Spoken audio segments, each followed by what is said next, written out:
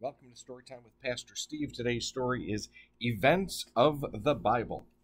This is written by Gloria Truitt and illustrated by Gordon Willman. Rain, rain, rain.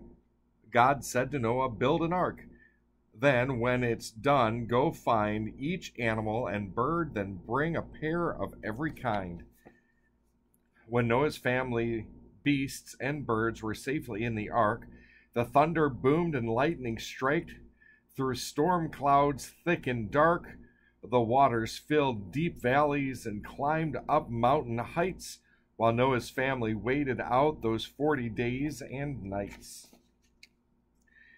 At last the sun came out and dried the waters and the mud, and everyone gave thanks to God who saved them from the it rhymes with mud, and it's got five letters beginning with F and ending with a D. Flood, who saved them from the flood. Gibble gabble, the story of a tower. Now, following the flood, there was a large nomadic band of people who lived here and there just wandering across the land. They understood each other, for their language was the same. They sought a home of permanence upon a fertile plain. They, they set up camp and settled down to start a brand new life in the land of Shinar, where they'd all be free of strife. Now, their ambition was to build a city great in size and to a soaring tower that up to the clouds would rise. First, they had to make the bricks. They laid them one by one. With pride, the people watched the tower rising towards the sun. God was also watching, but with quite a different view. These people are too proud, God said. I'll take away their power. So he confused their speech so they could not complete their tower. Suddenly, the work workmen spoke in mixed up different ways. No longer could they understand a single word or phrase. The words they spoke were senseless, just some gibbly gabbly. So, in despair, they left upon the tower called Babel, the Tower of Babel. The flight from Egypt.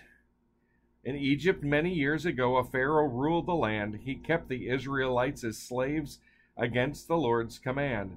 These slaves were fear of whippings, toiled long hours neath the sun, hauling bricks and blocks of stone. Their work was never done. Now Moses warned the Pharaoh, You'd be wise to hear my plea, for soon bad things will happen if my people aren't set free. The foolish Pharaoh shook his head and chose to not obey the words of Moses sent by God, and said, These people stay. The Lord then turned the waters of the Nile River red, and filled Egyptian homes with frogs Across the land they spread. The stubborn Pharaoh still refused to let the Hebrews go, so God sent swarms of flies and gnats. His power would be shown. The Egyptians suffered painful sores and saw their cattle die.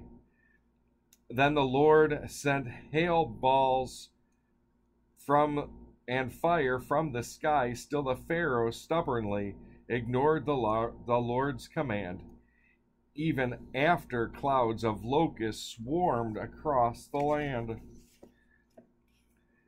Then three days of the darkest darkness fell so thick it could be felt, except in certain places where the Hebrew people dwelt. But still, to God's almighty power, Pharaoh's eyes were blind. So God sent down a final plague to change the Pharaoh's mind and in the land of Egypt there arose a terrible cry. as all the Egyptians' families saw their firstborn child, children die. But God passed over all the homes of every Israelite, for they had used the blood of lambs to mark their doors that night. 'Twas only after these ten plagues did Pharaoh finally see that God was greater than all else. At last he set them free. Then many thousand people formed a joyous caravan, and from the Pharaoh's country a long journey they began. The Bible's second book relates this happens now guess the name of this event it starts with an E and ends with an S. It is called the Exodus. A famous battle, the Israelites joined long the Israelites journeyed along to find the promised land. 'Twas just across the river and was very close at hand. But Moses now was old, and so he laid his hands upon his friend called Joshua and said, Now you must carry on. Then Joshua took seven priests and all his strong armed men and crossed the river Jordan to the land God promised them. A hostile town stood in their way, but they knew what to do. By using the Lord's strategy, the town they overthrew. Seven times they marched around the walls of this great town, and when the priests blew trumpet blasts, the walls came tumbling down. Now Joshua was very brave, a warrior was he. He led the Hebrew people to a famous victory. The name of this great battle starts with J and ends with O. It's in the book of Joshua, the town of Jericho. A nine foot giant. Young David was a shepherd who grew up to be a king. When he was just a lad, he killed a giant with his sling.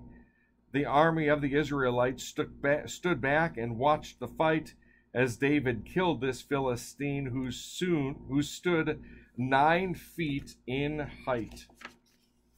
The army of the Philistines then dropped their swords and fled, while all the Israelites rejoiced. Their enemy was dead. First Samuel will tell you of young David's bravery and how he killed the giant foe whose name began with a G. David and the giant called Goliath. There are so many more Bible stories. I encourage you to pick up either one of these arch books or pick up your Bible and start reading. There is a whole lot to learn about how God's power and might fulfills what he wants to have done.